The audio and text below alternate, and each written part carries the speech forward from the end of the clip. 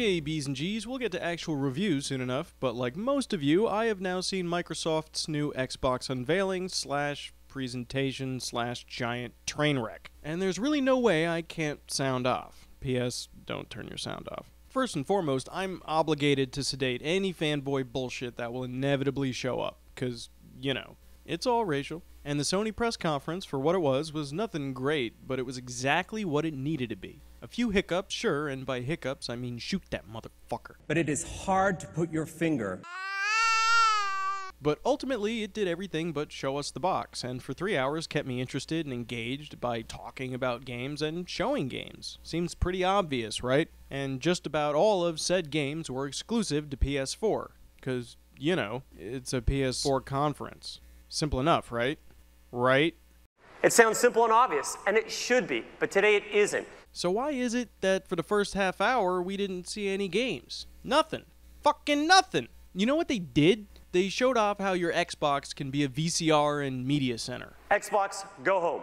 For half the show! And the sad truth was, I kind of knew they were going to do that. You know how I knew? Because that's what they did at their last three E3s every year. While Sony was talking about games and new IPs, Microsoft spent most of their presentations going, Look, Hulu and Netflix. You can do Hulu and Netflix. Tune into next year's E3 where we can find new ways to do Hulu and Netflix. And nobody cares. It's 2013. My left nut has Hulu and Netflix. Starving kids in Africa are watching cooking shows on Hulu and Netflix. And I don't know how to break it to you, but hitting input is actually faster than this. Through a great new feature called Instant Switching. Xbox, game. I'm not quite sure how it appears that you don't understand that. Go to music. But it would appear that you don't understand. Watch TV. I'm so sorry. Yes, that fast. Did you see how instant that was? Uh, I think they're clapping for her. Switching between live TV and all my games entertainment is now as fast as switching channels on your TV remote. No, no, it's not. There's no waiting. You can switch to your game like it's a TV channel flip.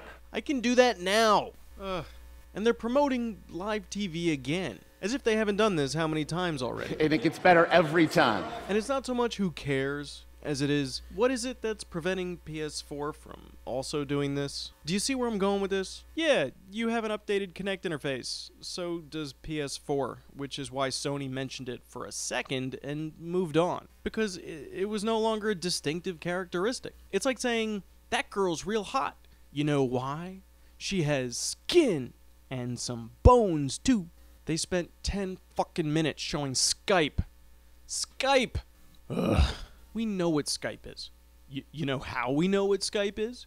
We saw your last three fucking press conferences. And no one saw it coming three more times. So now, We're about to change entertainment forever. Again.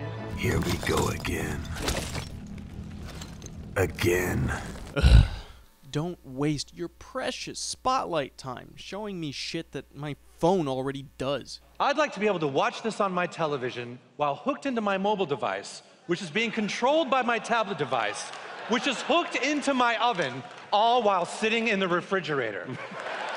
It's not like Sony didn't spend time showing new functionality and sharing, they did, but what they showed was game centric and frankly more interesting and innovative, like spectating and even taking over someone else's game to help out, actual friends lists in addition to, you know, finding and editing video, sharing, etc. And more importantly, they did all of that in like three minutes, not 30. And not all sports, only to do it again 10 minutes later. Okay, so the half hour VCR tutorial is over, and we're left with 30 minutes of what should only be non stop game footage, right?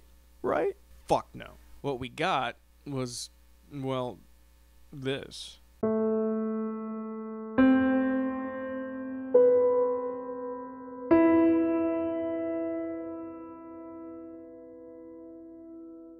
Xbox is about to become the next water cooler.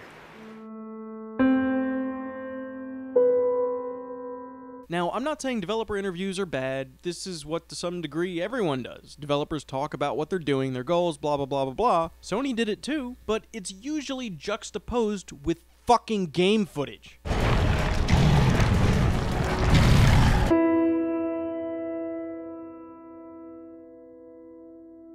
And by game footage, I mean shit that looks finished. The vast majority of actual game video shown at their already brief conference was shaded alpha footage, which didn't impress anyone. It's not that we don't care, we just don't care right now. It's been eight years. Show us some finished shit. You know, those, uh, whatchamacallums.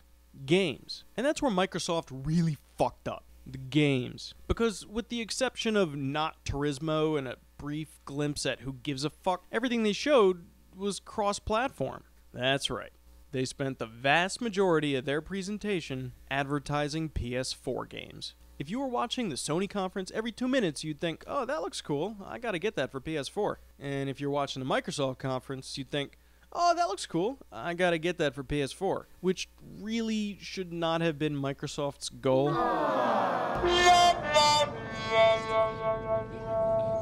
What's worse is that the majority of the footage they showed in their trailers was live action. What? Do you think it's safe where we're going? What? Is this the 90s? You've only got the latter 30 minutes to show off games, and you're playing this shit. Why? For fuck's sake, why? Are you sure you want to know? And what's worse is that the big build-up at the end, the big show, was Call of Duty. Call Call of Duty, not Halo, not Gears of War, Viva Pinata 2. I don't care. Something exclusive for fuck's sake. And what's worse is that while the game sure looks pretty enough, it still wasn't nearly as pretty as the Battlefield 4 footage that's been out for a while now. It didn't even have anti-aliasing, which was actually pretty noticeable. And this is what they're hanging their hat on? Also added an AI system to it, so we have fish move out of the way when you get close to them.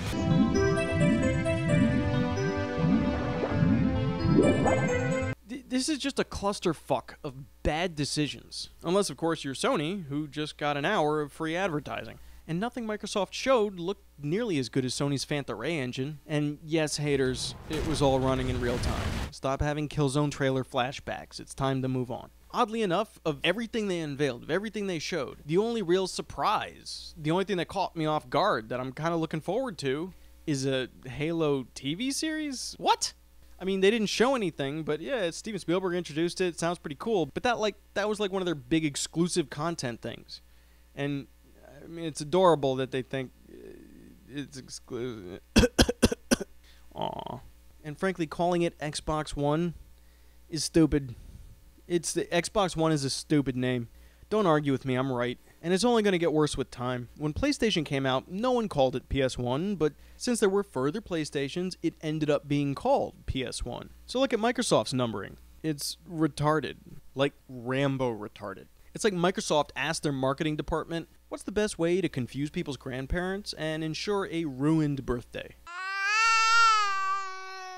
What's worse than everything here is what wasn't here. Not everything has been set in stone yet, but most of the tech leaks and rumors have been proven true since Microsoft's announcement, which looks to ultimately leave the console about 50% weaker than the PS4. Some of you might say that was true for the last gen in principle, but most game ports look better on the 360 anyway. This was the result of the PS3's whacked out architecture cell processor, which had a crazy steep learning curve. And by steep, I mean Naughty Dog and Kojima figured it out, and pretty much no one else did.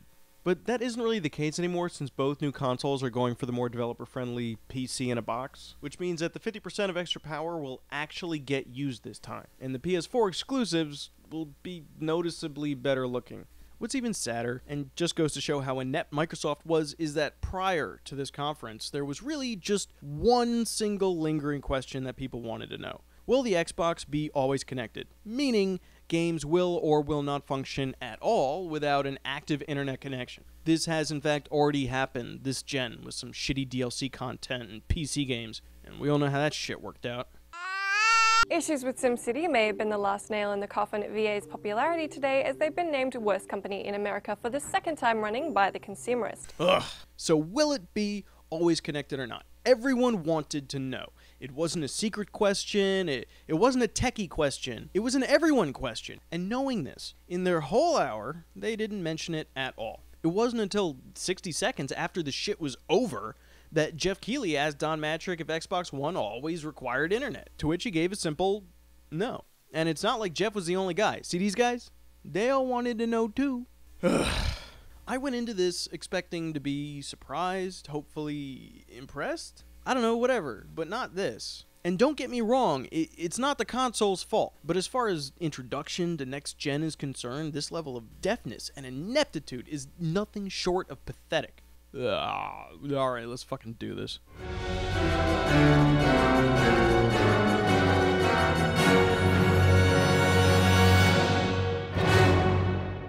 Lindsay Lohan Award. Because, sure, we wanted to see more, but you're not really exclusive these days. And it seems like all you have left to offer is skin and bones.